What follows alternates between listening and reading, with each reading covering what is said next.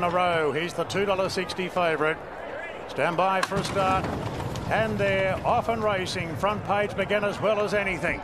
Good go for the lead. Front pages mustering from Compelling Truth and Creon out there. Elson Boy being nudged along going between them, followed by Bandy's Boy. Far too easy over on the rails. Further back, Martini Mama and Boom Talk in the middle of the ruck. Further back, Cavalier Charles from its, at Wits End. Tanglewood, Gallant Star Asgarda drifting back and Tribeca Star. So James McDonald takes the favourite of the front, front page. Out by three quarters to Elson Boy. Compelling Truth on a wide path at this stage together with Creon. Far too easy, driving right up on the rails, getting on the coattails of the leader.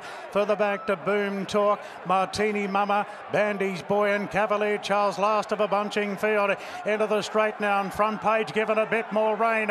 Far too easy's off his back and looks the only danger at the moment. It's front page and far too easy. 250 to go. Front page trying to fend off far too easy. Knuckling out a great finish. Front page looking for his piece of history. Far too easy keeps coming far too easy.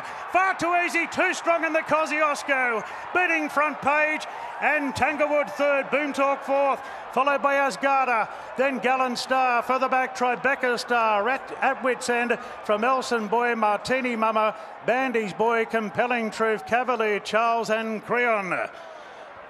Far too easy. Craig Williams just kept improving on the fence getting right under the coattails of front page, turning for home, then presented and was the only danger. And far too easy, trained on the north of New South Wales